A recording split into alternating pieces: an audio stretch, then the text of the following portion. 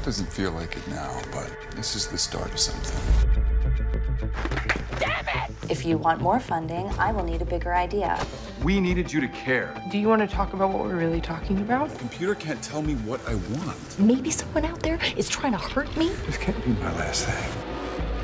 This is technology that we could only have dreamed of back in that garage. So, why are you telling me this? 电脑狂人第四季顺其自然，十月二十三日起每周一晚间十点首播。